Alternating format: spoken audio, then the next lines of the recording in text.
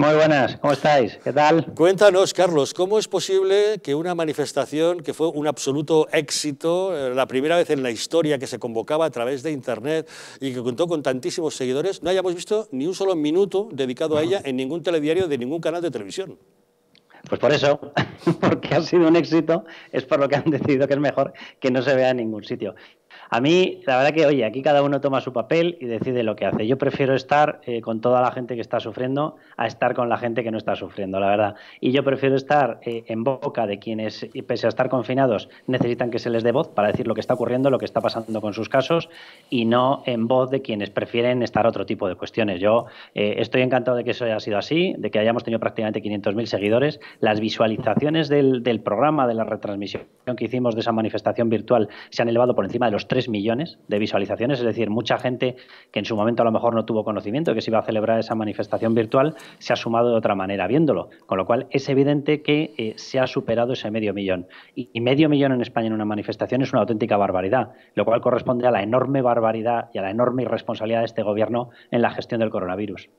Carlos, el 11M vimos cadáveres, en el ébola vimos gritos de gobierno asesino por sacrificar a un perro, en el Nunca Más eh, vimos también protestas contra el gobierno hasta que llegaron las subvenciones a los mariscadores. ¿Por qué ahora todo es tan diferente? No hay, parece, nadie crítico que al menos podamos ver en televisión.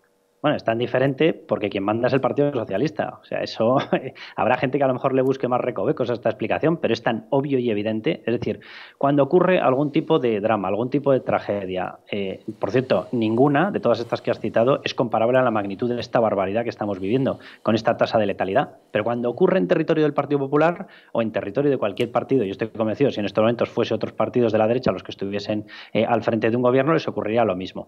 Eh, cualquier cosa da lo mismo un cero casos de mortalidad, por ejemplo, con el ébola se convierte en manifestaciones, se convierte en peticiones de dimisión, etcétera, etcétera. Ahora, cuando manda el Partido Socialista, puedes tener 16.000 víctimas mortales, 17.000, saber todos cómo sabemos que están ocultando y los propios responsables de tanatorios, etcétera, están diciendo que la cifra va a más que duplicarse.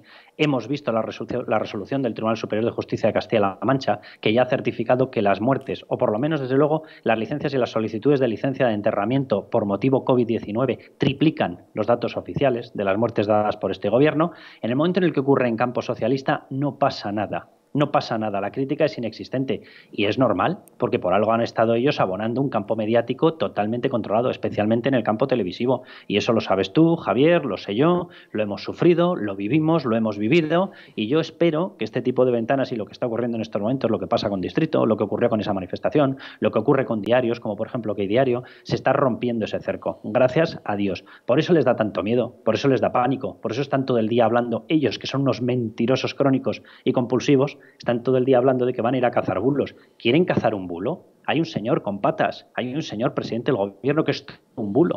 O sea, Pedro Sánchez no deja de decir mentiras cada cinco minutos. Es un mentiroso crónico, pero además mentiras con datos que son gravísimos. Estamos en estos momentos mirando a ver qué es lo que ocurre con una suavización, con una relajación de un estado de alarma.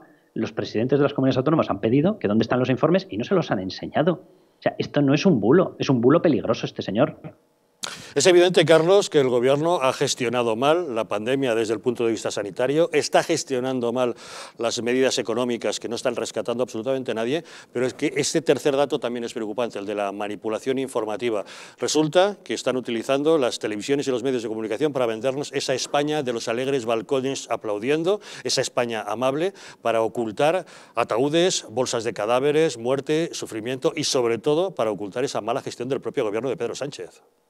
Javier, fíjate, déjame que con ese eh, motivo que acabas de mencionar, que es, que es clave, además se puede ver enseguida qué es lo que está ocurriendo en España en estos momentos, que tiene un nombre, se llama dictadura de la opinión pública. Bueno, pues esa dictadura de la opinión pública, atención a cómo ha seleccionado las informaciones sobre el personal sanitario. Durante el tiempo en el que nos han enseñado, oye, yo estoy encantadísimo que se le hagan todos los homenajes porque se lo merecen, son nuestros héroes, los enfermeros, los celadores, los médicos, el personal de limpieza de esos hospitales, los camilleros, la gente que está en las ambulancias, la policía, la Guardia Civil, los miembros del ejército español que están trabajando y arriesgándose todos los días. Yo soy el primero que me sumo y que defiendo esos homenajes, pero esos homenajes que evidentemente son la parte optimista, la parte alegre de ese mensaje, han salido por todas partes. Yo voy a lanzar una serie de preguntas. ¿Dónde ha salido el comunicado del Consejo General de Colegios Oficiales de Médicos de España trasladándole una carta al presidente del Gobierno diciéndole ni un día más sin un test? ni un día más sin mascarillas? ¿Dónde ha salido la carta remitida a presidencia del gobierno a través de la Asociación Mundial de Médicos, no la española, no, la Asociación Mundial de Médicos, diciendo que ya está bien, que no se puede tener un desprecio así por la profesión. ¿Dónde han salido todas las quejas de los distintos colegios, el de enfermeros, el de tal, de todas las profesiones que componen todo el colectivo sanitario, que se han sumado a esa queja y las han remitido a presidencia del gobierno? ¿Dónde han salido? ¿Qué pasa? Que nos gustan los sanitarios para lo que nos gustan, pero no nos gustan cuando son críticos. Entonces tenemos que llegar a la conclusión de que no es que nos gusten o nos disgusten los sanitarios, es que a este gobierno no le gusta la crítica. Y como es totalitario, como mastica dictadura por todas partes, prefiere censurarlo. Punto final, es así. Si no quieren oír voces críticas, no vamos a entrar en valoraciones. Nos vamos a quedar con un dato objetivo. ¿Cómo es posible que después de que llevemos 30 días confinados en nuestras casas, todavía no estén los famosos test rápidos que teóricamente deberían aplicarse de manera masiva? Totalmente, totalmente. Si, si para algo valía, este periodo, el periodo de confinamiento en una situación de grado máximo, habiendo parado la industria, era para habernos dotado de test, haber hecho ese muestreo y haber sabido perfectamente dónde estaban los focos. ¿Qué es lo que ha ocurrido? Que este gobierno de ineptos máximos no ha conseguido los test y nos vuelven a relajar el estado de alarma sin haber hecho los test porque no los han conseguido. No hay otro motivo. No hay un motivo científico. Pero es que hay voces en el Partido Socialista que están diciendo exactamente lo mismo que yo. ¿Cuál es el motivo para relajarlo cuando en estos momentos tenemos más contagios que cuando se decretó por primera vez el estado de alarma? ¿Me lo puede explicar algún glorioso científico? Fernando Simón, venga, que nos lo explique, el listo de la barraca, que nos explique él por qué en estos momentos se relaja el criterio. Se relaja básicamente porque estamos en un momento de tal cerrazón, estamos en un momento de tal crisis que en estos momentos le empieza ya a preocupar al gobierno tanto la crisis humanitaria como la crisis económica. Y ha decidido abrirlo porque necesita que vuelva a fluir economía, que vuelva a fluir alguna actividad, porque si no se va a terminar de cargar España. ¿Y qué ha hecho abrirlo? Pero durante todo este tiempo ha perdido el tiempo. Durante todo este tiempo tendría que habernos hecho test. ¿Dónde están los test? Yo no conozco, literalmente, conozco algunos, sí, evidentemente, pero mm, de mis amigos, familiares, personas cercanas, gente que conozco influyente, un 5% habrá tenido un test, un 7%.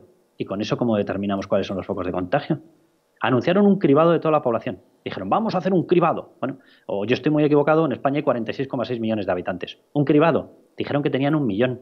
¿Cómo se hace un cribado de 46,6 millones con un millón de test? ¿Me lo puede explicar el glorioso científico Fernando Simón? ¿Me lo puede explicar el doctor Fake? A lo mejor nos hace una tesis doctoral con cómo hacer un cribado de 46,6 millones de personas con un millón de test. Al día siguiente salió otra noticia y nos dijeron, no, ya no va a ser un cribado.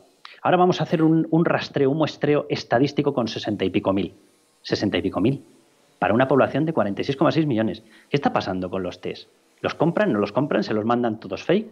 ¿O es que resulta que todo lo que están trayendo ante la necesidad, y es obvio que tienen un criterio preferencial, las profesiones sanitarias, la profesión eh, policial, la Guardia Civil, los miembros del ejército que están en contacto con los focos están reclamando esos test? ¿Qué les ha ocurrido? Que no están consiguiendo comprar en la dimensión, en el volumen que necesitarían. Por eso hemos perdido todo este tiempo y nos han tenido confinados sin hacernos los necesarios test. Todos los países que están capeando con menor tasa de mortalidad que nosotros han hecho test masivos. Nosotros no. Pues yo creo que está bastante claro cuál es el problema. Pues no tenemos todavía esos test, cuando parece que es prioritario, y como gran medida sanitaria del día, hoy en los telediarios sí hemos visto a vigilantes jurados en la puerta del metro repartiendo mascarillas no reutilizables a las personas que entraban en el transporte público. No, totalmente, esa es la situación. Eh, Garrido, por parte de la Comunidad de Madrid, ya ha dicho que además han llegado a un 20 o 20 y pico por ciento de las estaciones de metro de Madrid. En el resto de sitios ya están diciendo que es que no han llegado ni a eso. Eh, pero ¿qué, es esto? O sea, ¿qué es esto? Y mientras tenemos un presidente que se sube a la tribuna de oradores del Congreso de los Diputados, debería tenerle un poquito más de, respeto a una sede que representa a, toda la soberanía nacional, y se sube para decirnos que somos el primer país en decretar eh, los confinamientos, falso, el primer país en cerrar colegios y universidades, falso, el primer país en aplicar masivamente los test, falso, el país que más ha seguido las indicaciones de la Organización Mundial de la Salud, falso, pero ¿cómo se puede combatir un virus en base a mentiras? O sea, este señor lo que tenía que hacer era alargarse, pero alargarse ya, él y todos los miembros del gobierno, porque es indigno lo que están haciendo, es impresentable lo que están haciendo. Y alguien tiene que decirlo. Carlos Cuesta, hay algunas voces que no se pueden acallar, como la de Distrito Televisión, como la de OK Diario, la de medios que no van a recibir ninguna subvención repartida desde el gobierno, pero que prefieren decir la verdad ante una situación de pandemia que es un drama absoluto para todos los españoles. Muchísimas gracias, Carlos, por haber... Eh, me confirmas que, que, después de esta intervención no me van a subvencionar, ¿no? Te, puedo confirmar que efectivamente eres de los no elegibles para la subvención. Pues no sabes lo a gusto que estoy de ser así y de estar entre gente así. Gracias, Carlos. Un saludo. Un abrazo. Hasta luego. Buenas noches. Bueno, Graciano, ¿qué te parece?